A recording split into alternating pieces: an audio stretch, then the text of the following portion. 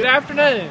We are the nursing leadership team of Henry County Medical Center, and we're fixing to do the cold water challenge.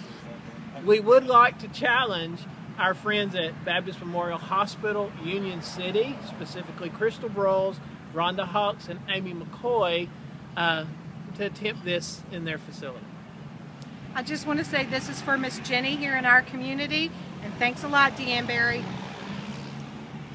I'm Kathy Newick, and I challenge Nessa Clayton, our Lake Haven therapist, to the Cold Water Challenge.